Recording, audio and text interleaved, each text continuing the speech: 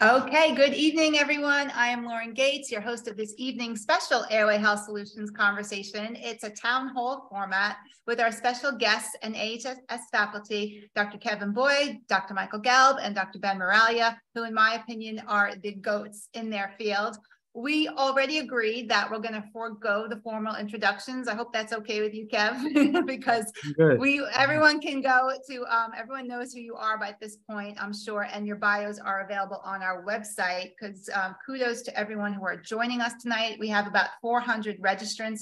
Not everyone can join us this evening, but I'm really excited that we have people who are so interested in airway and had so many wonderful questions that we want to try to answer everyone's questions.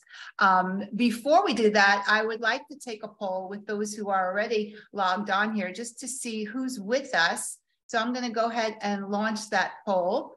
Um, why don't you go ahead and just tell us what profession best describes you so we can see who's joining us tonight. I know we had a lot of dentists um, from the registration that I looked at briefly, but it's nice to see what we got here. So out of 61 people right now logged on, I know it's only 801. I think we'll get a pretty good scope of who's with us this evening. So thank you again for your commitment to dentistry, uh, for better health, for airway health, and for overall health with your patients. So again, welcome everyone.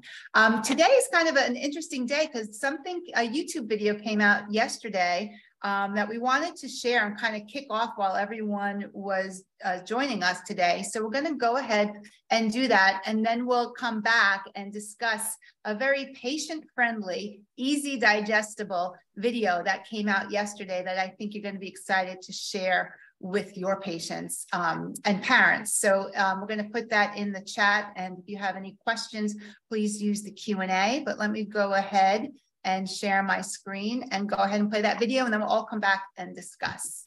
Okay. Let's see, I'm gonna go full screen here.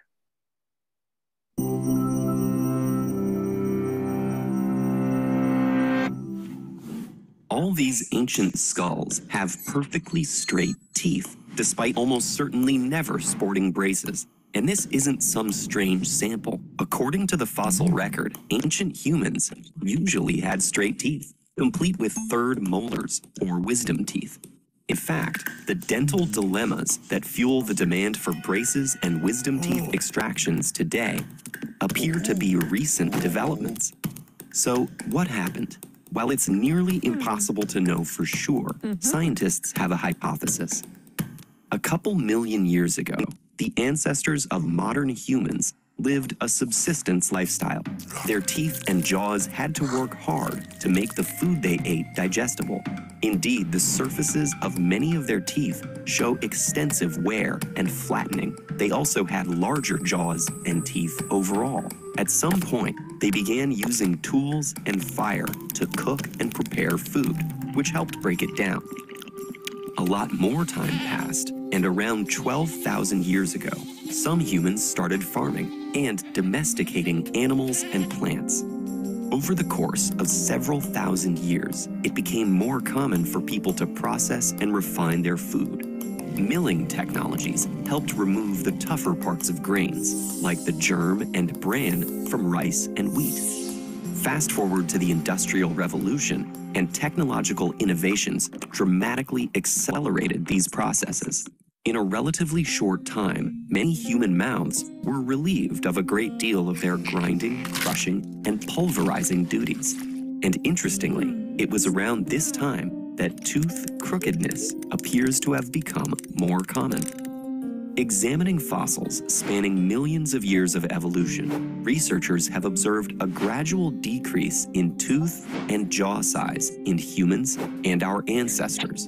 Many think that for most of human history, dietary shifts, like the introduction of meat and the advent of cooking, were gradual, and that changes in tooth and jaw size basically kept pace with one another. But with the more recent revolutions in agricultural and culinary habits, that relationship changed. As the theory goes, over a relatively short period, some human populations saw a decrease in jawbone size, while teeth stayed roughly the same size, meaning they're left vying for limited space. When they do grow in, they may displace others and get jostled into some eccentric positions. And then wisdom teeth, which are usually the last to make their debut, seem to only complicate things further. In many cases, they have little or no space to emerge. This can lead to impacted wisdom teeth, which may cause discomfort and infections if not surgically removed. So, larger jaws appear to be associated with greater chewing demands. And many scientists think that as people's diets have become less chewy, their jaws have gotten smaller, and that this has led to dental crowding, resulting in dental crookedness and impacted wisdom teeth. This hypothesis has been supported by some preliminary experimental data. In a 1983 study, researchers raised 43 squirrel monkeys on diets of either naturally tough or artificially soft food. Those fed softer food had more crowded premolars, rotated or displaced teeth, and narrower dental arches. And a 2004 study similarly observed that hyraxes raised on cooked foods experienced roughly 10% less growth in facial areas involved in chewing compared to those given raw and dried foods. In other words, the issue at large seems to be environmental or one of lifestyle instead of a genetic one, though heritable factors may be at play in some instances. It's estimated that somewhere between 30 to 60% of people today experience some level of tooth crowding. But this trend varies across global populations.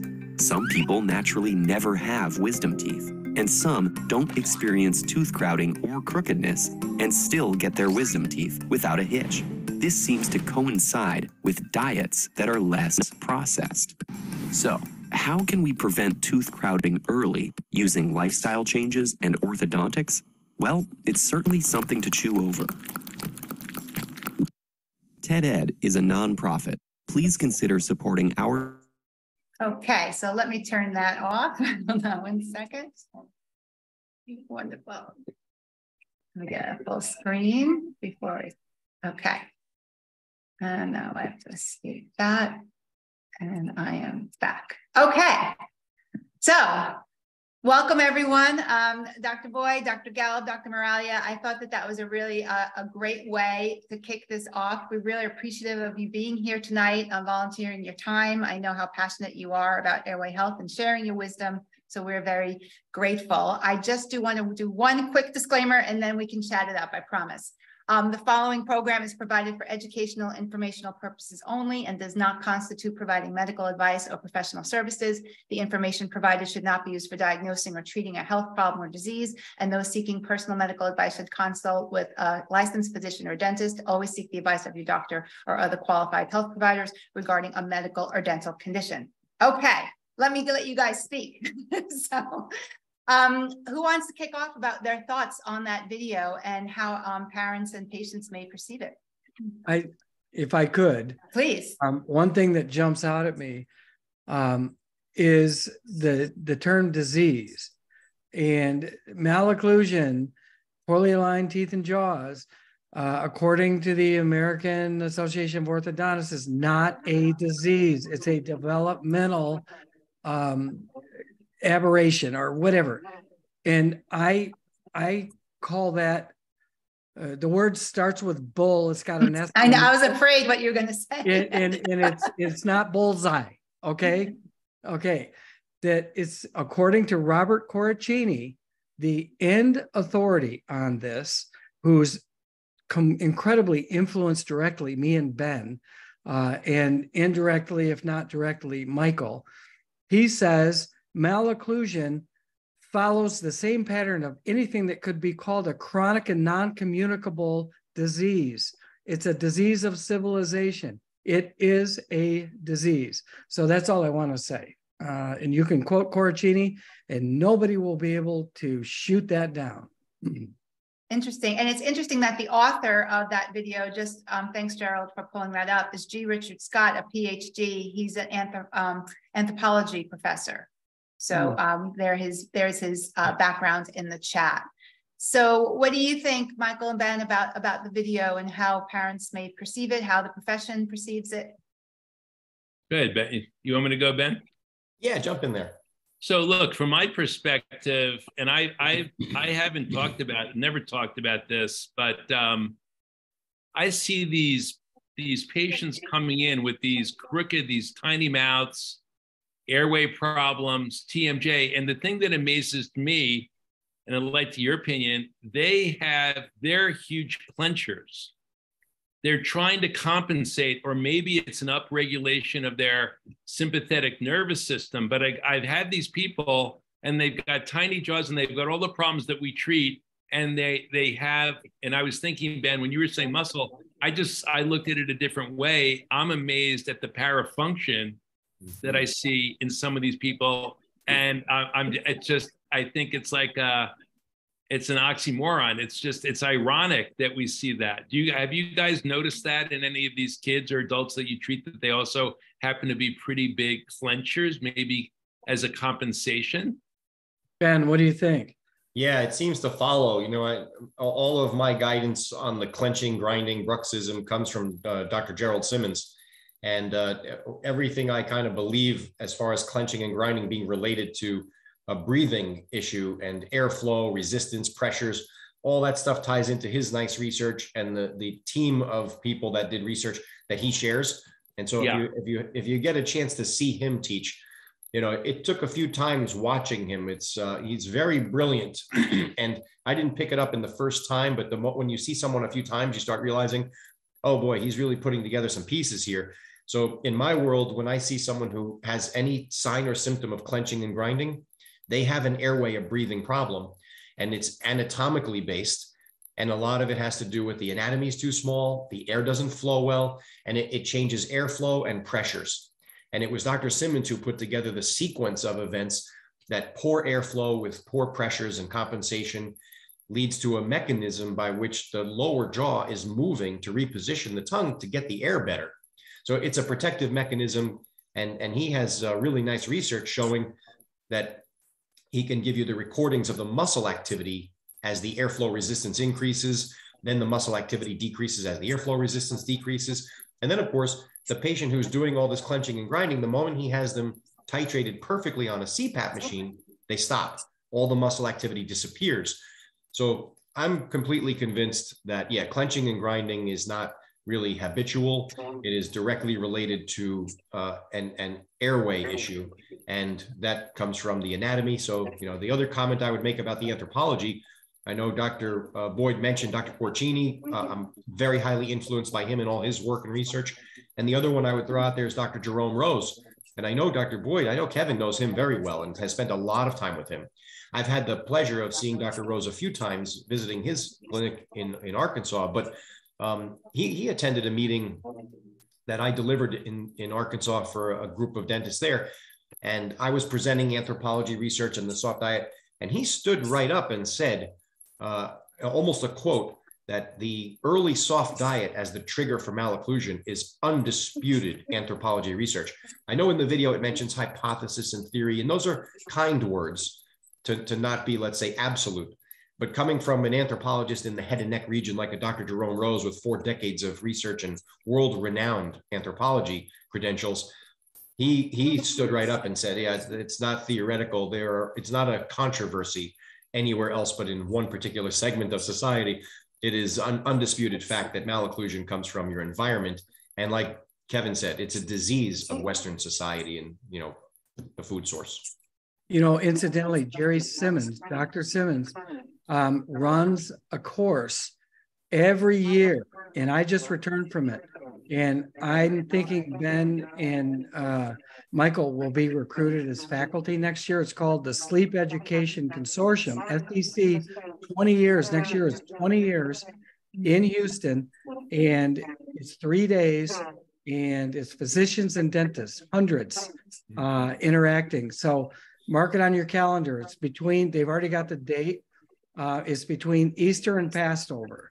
Uh, he just takes care of the Christians and the Jewish people, and he wants it in between those holidays.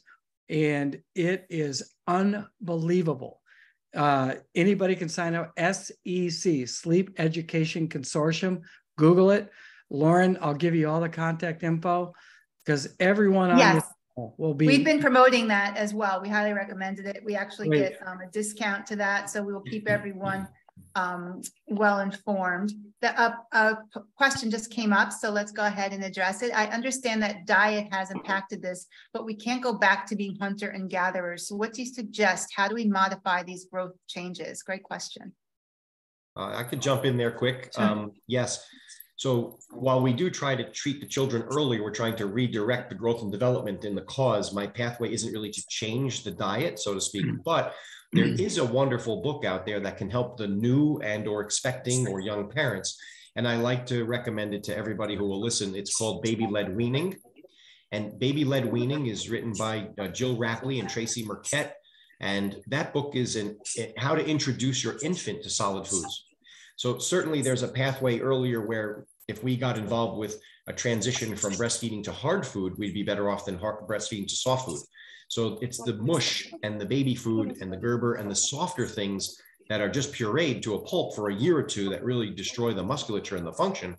So if we could transition a little better, because the pathway really was in cultures that have been studied, they really do graduate from breastfeeding to harder foods. The kids aren't given a pureed mush, and that seems to happen between six and nine months old, according to the, the research there.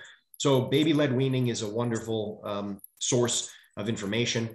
It's it's not an easy pathway to tell parents you have to feed a certain way or things are the idea is that we're all we're positioned to help out because we know the trouble's coming. Um, that that's where I would start there. And then thank you, Mary Isaacs, for sharing um, Right Sleep by Dr. Susan Maples, who we know and love is excellent as well. So thank you for that suggestion. There was a question that relates to this bruxism and expansion. So are there any studies or perhaps you could describe any anecdotes that prove there's less, less bruxism after expansive orthodontics? I don't know. Yeah, That's that a- direct I don't know directly. Yeah. That's Yeah, a great what question. Yeah, The one I'm one. familiar with is Dr. Um, I do, I'm familiar with Dr. Simmons' teachings in that it's really about the, the airflow between the pressures and the resistance in the airflow. Once he controls that, all of the muscle activity disappears. So his research is focused on uh, airflow, air resistance, air pressures. And so when you have all of the muscle activity recorded, because basically in a sleep study, he adds to the PSG um, intrathoracic and esophageal leads to measure airflow and pressures. And then, of course, he has all of the muscles attached to the leads to record activity, and that's all of the head and neck musculature. So Mm. what he is able to show is that with the with the rise of airflow resistance, all of a sudden the muscle activity begins and the jaw starts to move. As the jaw is moving, the tongue is repositioned, the, the airflow resistance decreases because in positioning the tongue differently, the air can get by a little better. So as we're moving our jaw around, the airflow resistance can be decreasing. But the moment the airflow decreases, all the muscles are shut off because now you have less airflow resistance. But when the muscles shut off, you're back to a closed position where you don't have the anatomy to breathe well. So the cycle repeats itself. So he's been able to show over and over and over that it's airflow resistance leading to muscle activity, clenching, grinding to relieve the resistance, reduce it, and it stops. And this vicious cycle goes on all day and night. Yeah. So I'm not aware of just an expander, you know, study to do that. I can give you, I'll give you two studies. Uh, bruxism is reduced after adenotonsillectomy. You can Google that. Okay, so that's one idea. Of course, the same thing would happen with uh, expansion. And the other thing is in kids, uh, bruxism is decreased with lateral sleeping. Okay. So another another um, observation. I treat mainly kids under six years old, and we use the pediatric sleep questionnaire pre-treatment, and we find coincidence with expansion because almost every kid we treat has a transverse skeletal deficiency, and we address that first. As Ben says, the upper jaw is the criminal, the lower jaw is the victim. When we resolve this transverse deficiency, is that we see all kinds of parasomnias and bruxism. These things are associated with improvement, but can we say it's cause and effect? We can't do that, but that doesn't mean that it's not valid. Is it we're seeing better quality of life, and so definitely bruxism, coincidentally, will will resolve often very frequently with transverse development. But there hasn't really been a prospective study on it, and there probably never will be, because you can't withhold expansion from a kid uh, for a control group. You can't do that. It's unethical. So retrospectively, we look at it, and I have lots of data that shows that I widen a kid's arch that's too narrow, and the bruxism goes away. Well, so does bedwetting, and so not 100% all the time, but you give you give parents optimism. You don't promise anything. You'll say, "Look, you have cause for optimism." Uh, that's what I would say. So don't Yeah, also, I can add um, to that. The, um, Dr. Simmons um, has also an hour that he, a couple of hours that he did for us that are archived. So he can really deep dive, go to our website and look at our archived conversations. They're always free. So you can share that with all of your colleagues and refer to him to get an hour of content with, with Gerald Simmons. Go ahead, Yeah, I'm sorry. terrific. Yeah, I would second what Kevin just said because it's anecdotal because in my private practice, it's not a research facility.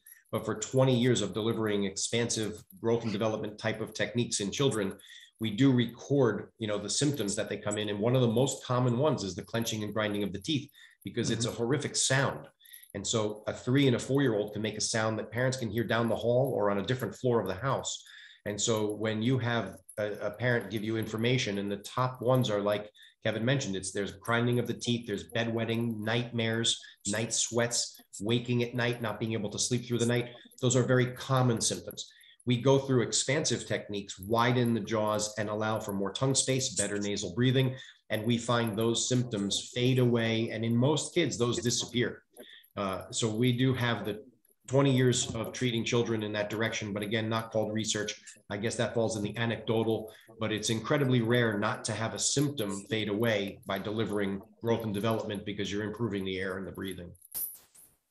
Oh, that's great. So could I say, Lauren, Please. that maybe the first myth, the first myth that we could bust is I hear all the time, I'm always asked the question, there's a lot of people out there that think that bruxing in children is is normal. And and I think that's very Ben, that's very well said, Kevin, well said, but I think that's maybe the first myth is that Mhm. like you shouldn't be hearing quiet, dry, still. You shouldn't be hearing your or the, your your patient should not be bruxing. They should not be clenching. They should not be grinding.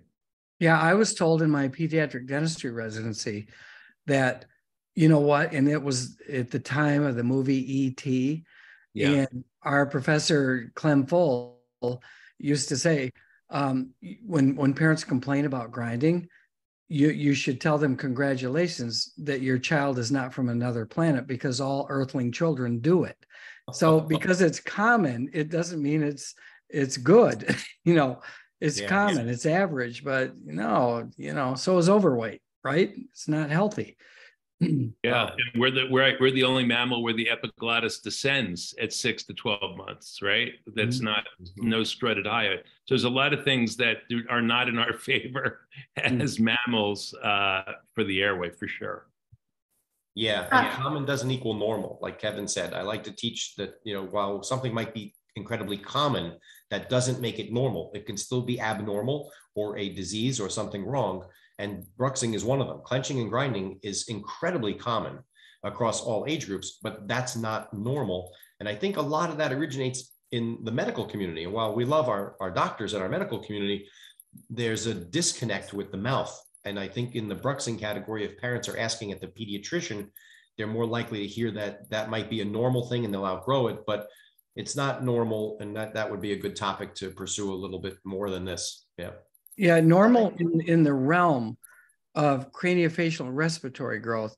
Normal used to mean up until industrial revolution, normal is a bell-shaped curve. They call it a normal distribution. Most of the people that are average are, you know, the most area under the curve and outliers or extremes are out here. Well, normal used to mean if you weren't normal, you didn't survive childhood. If you didn't have a perfect jaw, you know, from birth to three years old, forget it, you're done.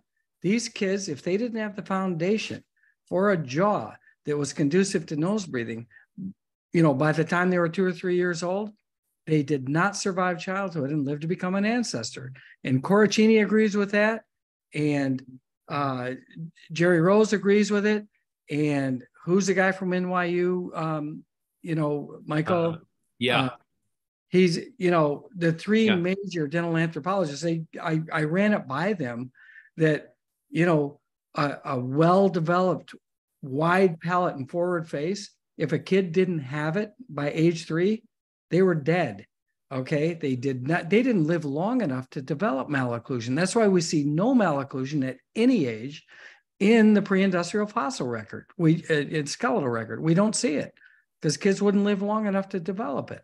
So it, it, it's really important that you know that. You don't have to tell parents that that you know malocclusion used to kill kids, but well, no kid ever got malocclusion. So what does that mean? Well, because they didn't live long enough to develop it.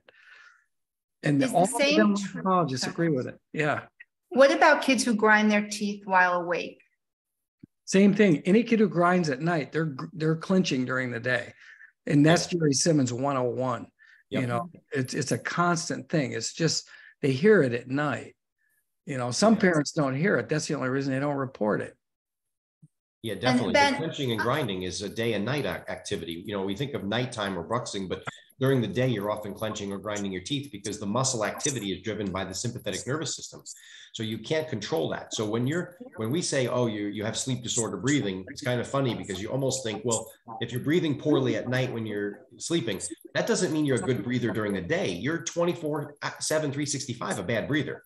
And during the day when you're bad breathing, your sympathetic nervous system is still running, so those muscles are still firing. So of course you have daytime clenching and grinding as well because you have poor breathing thanks to the anatomy is always off. If the anatomy is always off, you have your trigger for airway resistance being there. And then of course the clenching and grinding day, night, it doesn't matter. You you have it all the time. Normal used to mean optimal for health. Back Right. pre-industrially, it, it normal was equated with optimal for health. It's not anymore. No. Industry changed all that. And that's what common and normal really- got blurred. They, well, and they don't teach anything about this in our dental schools, in our pre-dental medical schools. It's anthropology. Ben and I have taken, and Michael have all taken a deep dive in anthropology. It's a science that is underappreciated. And if anything people take away tonight, that's the most important thing you can get. Absolutely. Ben, I'm just going back to that study with um, proving of less bruxism. I, I recall you sharing anecdotally that people, after they were expanded and with clear aligners, then they didn't wear through their retainers. Is that something that you can apply Yes. to that? Absolutely. So your experience? anecdotally, I've been using clear aligners for 20 plus years now. And I don't have a single patient in the clench, brux, or TMD category that wears through a clear retainer. So when you're when we're Hmm. done using the clear aligners, we have delivered an expansive technique. So uh, anybody who's seen me teach in the clear aligner space over the last 18 years knows that I've only taught expansion. I've taught wider, move the teeth away from the tongue, less to no IPR when you deliver more tongue space, and in most cases, that's all we're doing with the clear aligners is giving the tongue more room. It turns out you get to the end of treatment, you want to give them a clear retainer to keep, you know, wearing to bed every night. Well, in some of the most severe clench, brux, or TMD patients, they wear their clear aligner to bed for retention purposes. And we now use those clear retainers for two years each at a minimum. Because when they come in every six months for their recall and their check, we look at those retainers. They don't have a single mark on them. There's no cracks on them. There's no worn areas on them. And it's neat to see the progression because the same patient in the beginning of treatment, when they wear their first aligner or second aligner, when they're still in that category of poor airflow and resistance and all this clenching and grinding, in two weeks' time, the first aligner can get pretty beat up. So we recognize at the beginning of treatment, you've got an aligner that shows really good wear. It's got worn areas. It might even have a crack or two. Some people can make a hole in it in a couple of weeks. Then you go through the progression. And by the time you get to the last aligner, they wear that for two weeks. It looks brand new.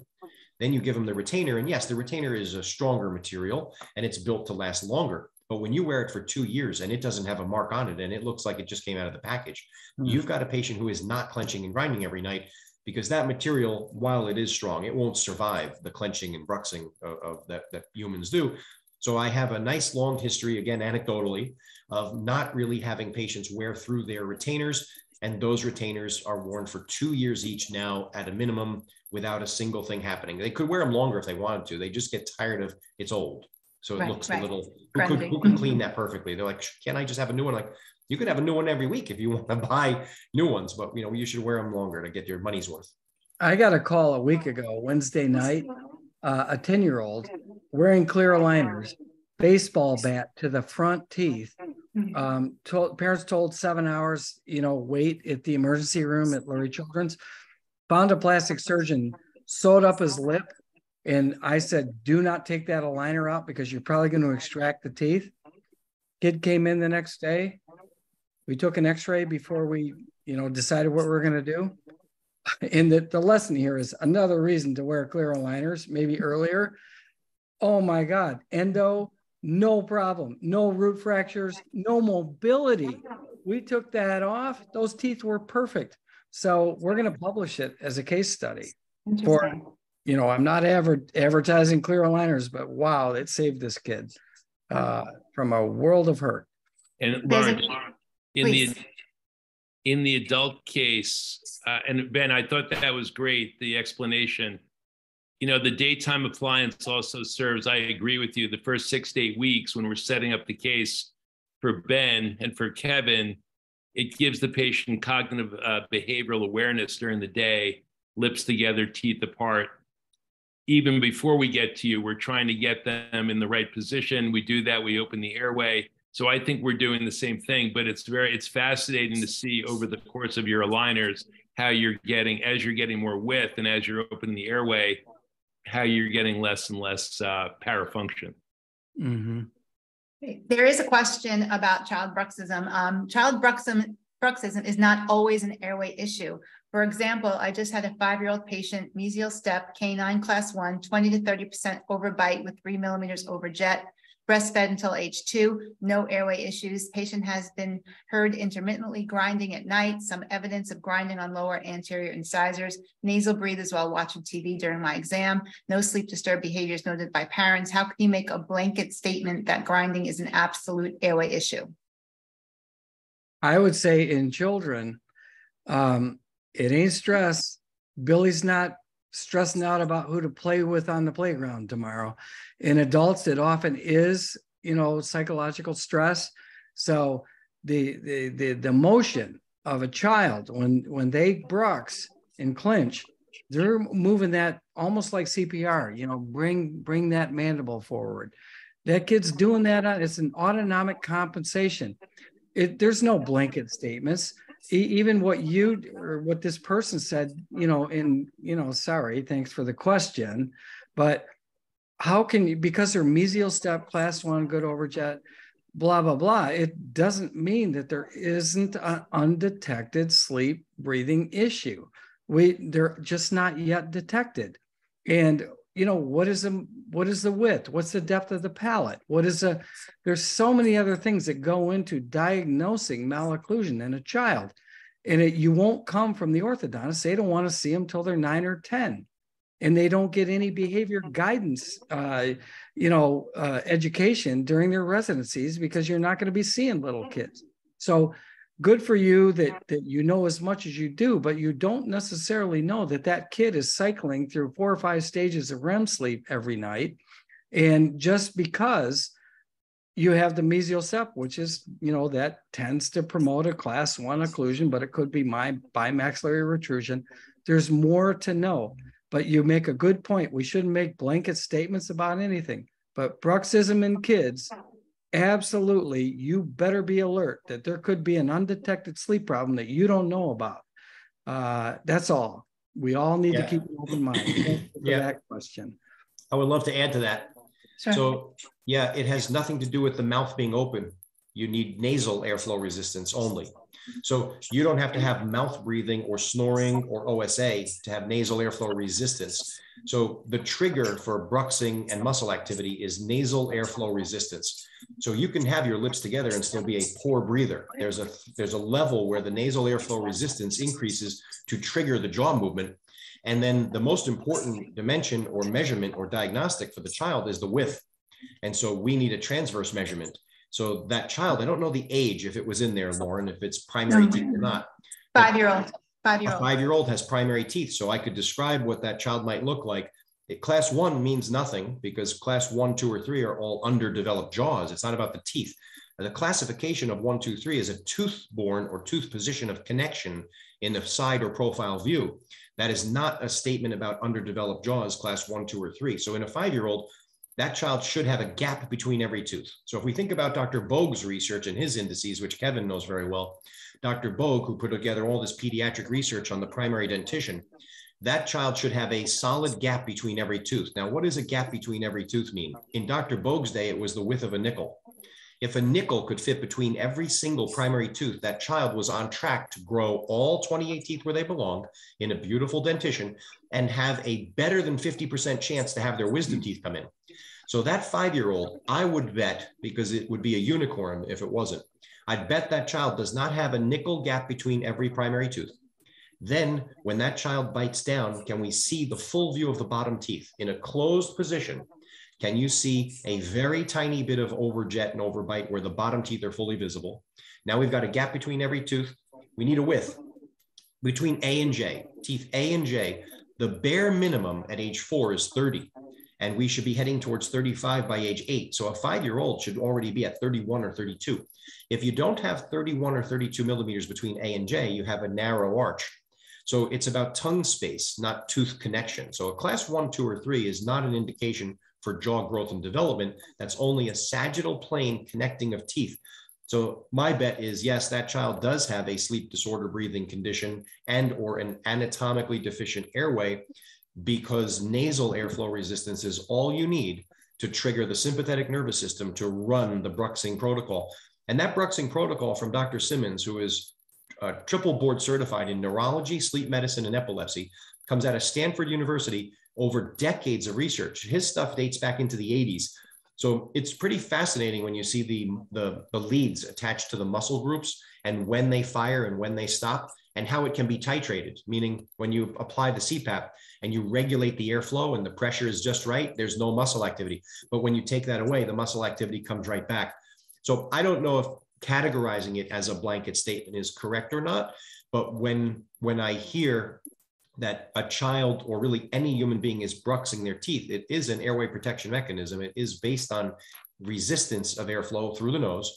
And it doesn't have to be as far as mouth breathing or snoring or anything else other than nasal airflow resistance is all it takes to trigger that mechanism. And the child described uh, has the credentials of underdeveloped jaws only because in 20 years, in looking at tens of thousands of children today, we would have to find the child that has a nickel can fit between every primary tooth, has 31 to 32 millimeters at age five between A and J, has a full view of the bottom teeth, then of course has no symptoms. Now this child having bruxism has a symptom, and that symptom is related to sleep disorder breathing.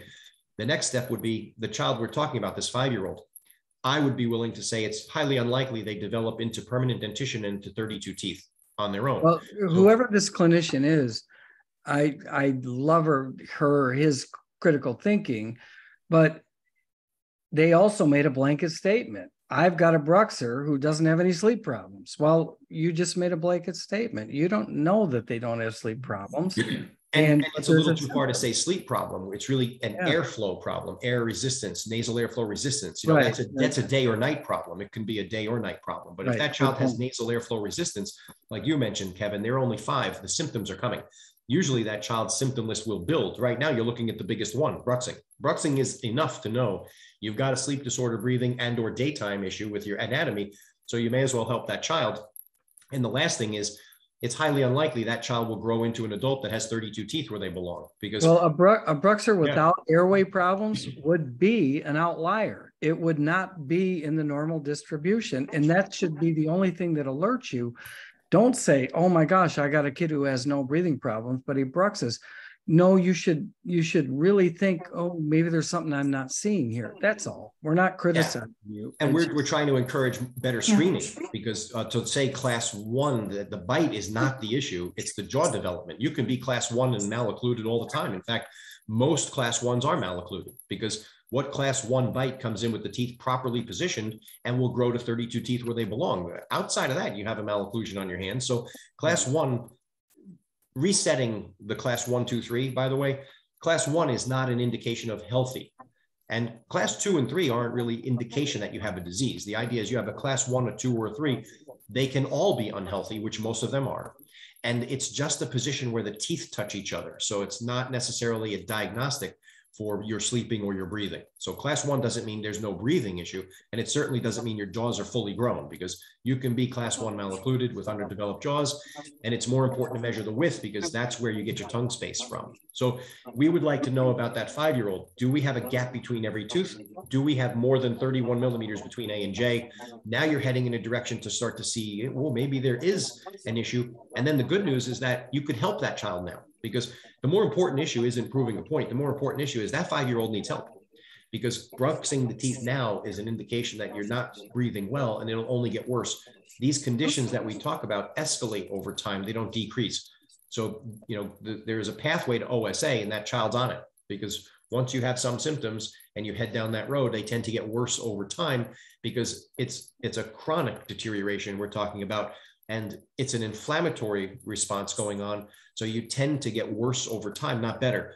No one's going to outgrow their malocclusion, and no one's going to outgrow their symptoms and improve or spontaneously heal. So we're really here to encourage treatment for that child because when you hear a five-year-old is clenching and grinding their teeth, they have at minimum nasal airflow resistance. If I Just could, clarify- Ken, you just please. said nobody outgrows a malocclusion. If you see malocclusion at two, three, four years old, one hundred percent, it will not ever, it is incapable of self-correcting and it will always worsen. So I'm glad you brought that up, Ben. People don't know that and orthodontists don't learn that, or they say, okay, so what? We can treat it later. It will persist. Some of them know it, some of them don't, but nobody wants to do anything about it. When you say what you, what you should be, when you should be able to see all the lower teeth, are you talking about the vertical? Yeah, like in the bite. In other words, uh, when a, when a child bites down, like like if we were talking about um, that Bogue index and Bogue's kind of research and what looks what's a normal four or five year old, you would need a gap the size of a nickel between every primary tooth. When In, in the front, down- anterior, not every back tooth though, just from canine to canine. But at least a space between those molars. In other words, there should be still a space between them, not You the should be able to probe them directly. able Then to- you don't yeah. do bite wings. Yeah, that, that's true, but Then not a need- nickel. You don't put a nickel between the back teeth. Well, no one should put a nickel in the mouth. I'm just saying Yeah. that. Bogue's research is 120 years ago. So we're talking Yeah. about, you know, from 120 to 100 years ago. His research is a time where they could take a nickel and touch the teeth, but we wouldn't do that today. Yeah. But just to give you a framework for the width, it's the widest coin. Then the bite is that when you do bite down, there's a very shallow overbite or overjet. You have a view of the bottom teeth. So we want to see a we want to see the bottom teeth upon biting. And the most important index is the width, meaning Dr. Bogue had this beautiful transverse measurement research going on in children to show they need to be at 30 millimeters at age four in order to progress towards a normal and well occluded set of teeth by the time they're 12 and to have even a fraction of a chance of the wisdom teeth coming in 30 millimeters at four 31 or 2 by 5 is really appropriate i would doubt that child's 32 millimeters at 5 years old So Oh, we've got the industrial skulls where they're thirty-four by age six. I mean, it's, Mm-hmm. they're almost their full adult width before they're eight years old in the pre-industrial skeletal record. So, you know, it's amazing. Uh, I'm so glad you're doing this, Ben. I mean, Dr. Bogue, nobody knows him. are you kidding Well, I'm now they following do. you. Now they do. I'm following you. i'm Full following you circle lead. here, full circle what a mentor A follow-up question to this. So in pediatric patients with bruxism and clinically have signs of deficient craniofacial growth, is it necessary to send them to a sleep study prior to treatment? My, my answer, quick, you don't send for sleep studies in kids. You call the pediatrician and you inform the pediatrician. And you and the pediatrician decide together, does this kid need to see an ENT first? Don't do it yourself. You don't have to. And another advantage of contacting the primary care physician, usually a pediatrician in kids, you let them know you do more than fill cavities. What's this guy, what's this dentist calling me about adenoids for? So that would be my first, and, and you, you know, let the ENT and the pediatrician collaborate with you. Do you need to refer for a sleep study? Often you can solve the problem before they need a sleep study. So that's my take on it. Yeah, same. We don't sleep Okay. the children. They're unreliable at best. They don't sleep well in the clinic, but we're not treating the sleep diagnosis anyway. So uh, we're not treating OSA. We're not treating snoring. I'm not treating the clenching or the grinding. Those are the symptom lists that's downstream from underdeveloped anatomy. I'm treating in my lane. I'm diagnosing underdeveloped jaws or malocclusion and treating that because Period. that's what I'm trained to treat. So I make my diagnosis.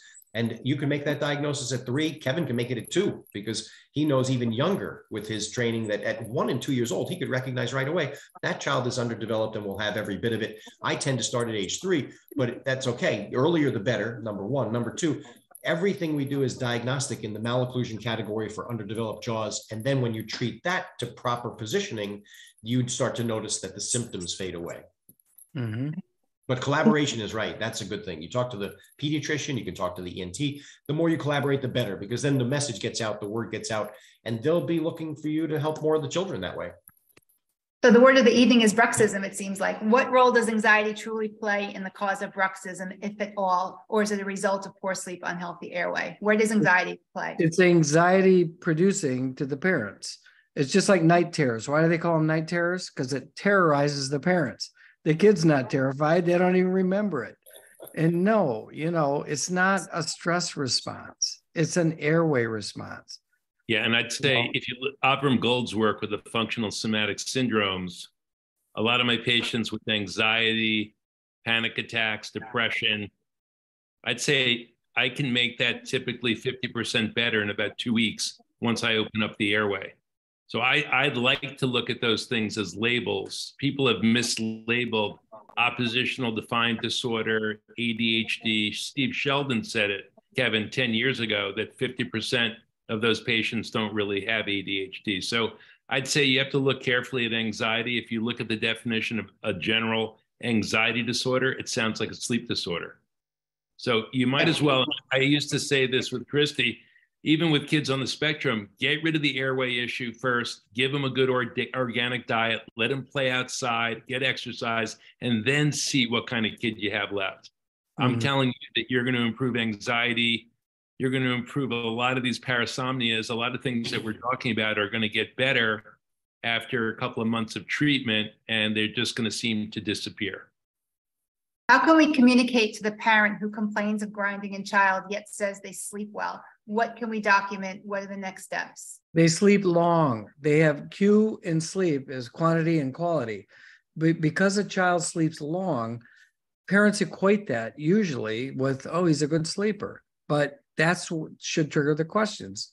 You know, and I call it Dairy Queen sundae, dry, quiet, and still. Children should be dry. They shouldn't drool. They shouldn't sweat. They shouldn't be thirsty. They shouldn't get up to go to the bathroom or stay in their bed and go to the bathroom. They should be quiet. You shouldn't hear them snore. You should hear them grind. You shouldn't hear them headbang. You shouldn't hear them talk in their sleep. And they should be still. Their bed shouldn't look like a soccer game was played in it. And, you know, they, you shouldn't hear them falling out of bed or getting out of bed. You know, dry, quiet, and still. If you don't have time to go through the 26 questions on the pediatric sleep questionnaire, just say every one of them relates to their your child should be dry, quiet, and still. You know, uh, that really has helped a lot of people already. Great. Thank you. Great. Okay, yeah. great topic on bruxism. Uh, next question, do upper night guards close the airway? Let's have uh, Dr. Gelb address that one. 90% of patients that come into me for TMD have an upper night guard that was made in retruded condylar position, terminal hinge, centric relation. I think what we were teaching 40, 50, 60 years ago, I see a lot of adults. It's what I see coming in. And the studies would lead you to believe that uh, these retrusive positions are, are, are most likely, it shows that the apnea and the snoring is increasing by 50%. So Nicopoulou, Gagnon, uh, if you look at the American College of Prosthodontists, they're recommending that you get a sleep test, a sleep study in adults before fabricating a guard, and that you don't fabricate a guard without some degree of protrusion in the device. Okay. Yep. There was another question in the chat. Do you think that improved 3D jaw developments could also be a factor in better jaw alignments, and this could also help reduce bruxism and TMJ issues? I'm not sure I understand the question. Yeah, it's in the chat. So I don't know, improved 3D jaw developments. I don't know what that refers to. Maybe um, Dr. McCoy, like maybe imaging? you could clarify. Uh, and another. All, all changes are three dimensional. We may Okay. focus on transverse, but it's going to affect vertical and sagittal too. So Yeah. I don't know what they mean by that. Okay, Sometimes we Um, loosely say expansion, but like Kevin said, just to say that one more time, it's the transverse development, expansive development gives you both a correction sagittally and vertically. So that's the one category where you can influence the other two. Whereas the other two categories, addressing them only doesn't improve the transverse. So you- you should go after the one that triggers the others downstream kind of thing. So it's, it is a 3D improvement, really. so the follow-up question is, will transverse maxillary growth stimulate AP growth? Absolutely, absolutely. And that is in every case I've ever treated for 20 years. When you have wider developing, you have an AP change. And it doesn't come anecdotally. Dr. McNamara out of the University of Michigan showed that very nicely about A point. Uh, A point travels forward with lateral expansion only. And so with lateral expansion only, you do get a forward movement of A point, number one. Number two, with lateral expansion, the upper expansion delivers a release of the lower jaw because most people are trapped back thanks to the underdeveloped upper jaw. So if the upper jaw is too small, your lower jaw is trapped under it. We work like a shoebox for class one and two type bites. Dr. McNamara showed that yes, you can have that correction of the AP change from the lateral expansion, both A point coming forward hmm. as well as the lower jaw releasing. Yeah, McNamara also, um, who's a hero along with Corruccini with me and Ben, is that B point is is what he calls spontaneous class two correction, but that's where the myofunctional therapist comes in. If the upper jaw is wide enough, in you know wider than the retruded lower jaw, the lower jaw can be with a myofunctional therapist bring it forward. It feels better to interdigitate forward, but the kid has to, sometimes they'll do it spontaneously, but a myofunctional therapist can teach this child after we've gotten transverse optimization in a class two kid, the lower jaw will feel better if it comes forward and fits and it acts like a functional appliance. Major, major stuff. And McNamara is not even aware of how much good he has done. His stuff's 20, 30 years old. And, you know, it's just not being taught in orthodontic programs. But you and I obviously have capitalized on it, uh, and the kids have benefited from it. Such a thing as overexpansion in children. I understand there's a minimum width for a particular age, but if say the child at five has a transverse of 36 millimeter, excuse me, six millimeters deficient sagittal, would expanding to 36, 38 be too much? If, if I could jump in on that, because I just did a unit on this with Jerry Simmons' group, is that a kid who has transverse skeletal deficiency without a crossbite, did you hear me? You do not need a posterior crossbite to diagnose maxillary skeletal deficient transverse deficiency. The first thing we do, all right, the alveolus is inward and the teeth are inward and it gives the optical illusion that there's a deep palate that the palate is going up into the nasal cavity. Guess what? It's not hardly ever. It's an optical illusion. The first thing we do is we upright we unwarp the alveolus where the teeth go you know the roots go into alveolar bone. We upright that and then we upright the lingual verted teeth. And then simultaneously, we expand against the mid-palatal suture until the maxillary tuberosity bumps into the zygomatic buttress. All right, then you get, so you get three things happening. You get uprighting, unwarping of the alveolus, the curve of Wilson changes, right? And then also uprighting of the tilted posterior teeth, and you get the roots under the crowns, and the expansion happens across the mid-palatal suture until it runs into the zygomatic buttress, then you can't do it anymore. So there's, you can tip teeth out of bone, but if you learn how to do this the right way and time it, you're not going to do that. You may get some overexpansion and, and tipping of teeth. Just stop what you're doing and it'll go back. We teach you that stuff. Now, people will criticize you. You can't expand a mandible. And the first thing you should say to them you are right.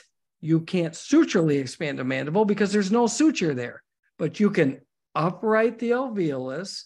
You can upright the teeth in the alveolus, change the curve, flatten the curve of Wilson, and you've got unwarping of the alveolus, you've got mandibular development. It's not true sutural expansion. People are so tell people they're right. You can't do that suturally because there's no suture. That's I've learned this. Oh my gosh, the criticism that I was getting when I started, you know, developing mandibles to match my maxillas.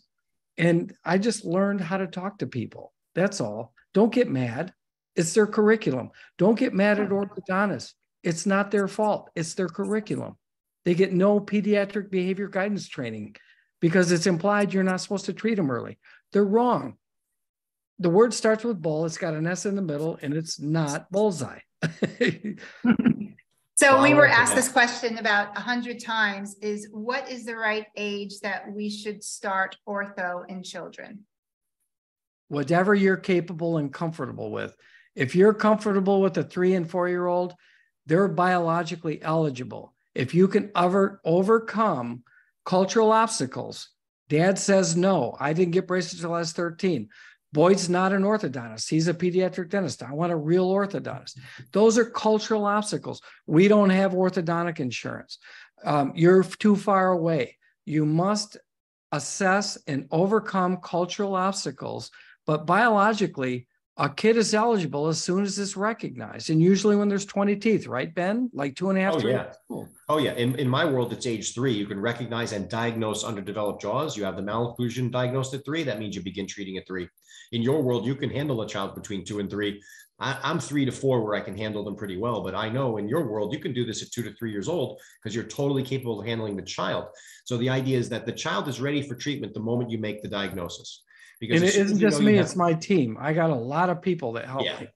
You, that's right. You got to put a team together that's willing to treat the child early because the moment you make the diagnosis, you know you can start to put that child on a path to oral health, which will lead to the overall health. And really, the goal is ultimately we want that child to have 32 teeth. The, the outside development chance would be to increase your opportunity to have 32 teeth develop. And you do want all of the teeth where they belong because that makes the entire system complete and when you have the whole, all of the parts to all of the system makes it run perfectly. So you need all the parts where they belong to run that system beautifully. And then you translate into a healthy human being. And your chance to get those wisdom teeth to come in by themselves really means addressing the malocclusion early as possible. So the younger you meet the child, the better. And then to piggyback on the mandible thing, uh, we didn't get a lot of time to throw. I know you brought it up, the myofunctional therapist, but that's a big help. And since the tongue's responsibility is mainly to grow the jaws when it's functioning and strengthened appropriately, don't discount the tongue's ability to grow that mandible for you when you recruit it. So we get the frenum revisions done and the myofunctional therapist involved because while we do use plenty of lower expanders, and those who learn from me know if you're putting an upper expander in a child, they're getting a lower expander because the amount that we're going to travel to get to 32 teeth one day is significant. We can't do upper only. We want both. But immediately we get to the myofunctional therapist for the frenum revisions and the tongue work because when you get the tongue on your side, guess who grows? Both jaws. It's how it used to happen with the early hard diet and the tongue function driving the jaw growth and development. So recruit the myofunctional therapy teams in your communities to work on these kids earlier the better because that's when the tongue would be growing the jaw. You may as well get that jaw growing naturally. And why not recruit the tongue to help you than to try to fight it with a whole bunch of rubber bands and all kinds of other stuff when mm-hmm. you can't really battle the tongue that well and things don't work well that way late. Get it early. Myofunctional therapy, big help. I, I would say two advantages of early treatment that I didn't know about till I started working with you, Ben and Lauren and Michael, is that um, when you treat effectively early, you make the kid eligible for very, you know, I'll call it easy, uncomplex treatment with clear aligners when they're ready for phase two. And when they get to Michael as adults, he's not having to put out forest fires, but maybe just smoldering ashes. Is that, you know, he's treating the problems that Ben and I haven't, you know, intercepted early. And he may have a train wreck or he may just have a little fender bender. Uh, and uh, or not at all. Maybe they never reach him. They don't need him. I don't think they do. Yeah. No. Well, we're on top of the hour right now. I'm not going to take the time to review upcoming events. Uh, we're going to send that up in the email, but I do want to point out that on our website, all of these courses from the faculty are listed on our website in great detail. If you want to learn the techniques from how they've done these treatments, uh, incorporating airway, um, please learn from these amazing um, professionals who are sharing their time and their passion, and they really do a great job helping you integrate this into your practice. Uh, we are having our Airway Palooza in March uh, 2024. That's March 15th and 16th. We're going to launch that publicly on Cinco de Mayo. I thought it was appropriate for we're celebrating airway dentistry and implementation. And um, check out the mentoring services that we have. We're here to help you, and that's why we call ourselves Airway Health Solutions, so we can help you on your journey. Thank you all for your interest. For our existing airway dentists, um, we're going to jump over to our private uh, town hall, which we run quarterly free of charge. So once you sign up for one of our courses, you become part of our family, and we have a more casual chat and even some case reviews. So um, that's another perk of being um, an airway dentist with Airway Health Solutions. I can't thank you all enough. This has been a really wonderful session. It kind of focused on bruxism, but it's such a hot topic that I'm glad we've covered something deeply. And it seems like we need to have more of these. We're also, we're also going to do master classes on myth busting. So stay tuned for more free information from Airway Health Solutions and this amazing faculty. Thank you all. And we'll see our alumni over at our other meeting. You have to join separately. Good night, everyone. Good night. Good night, everybody. All right. Good night. Thanks for coming.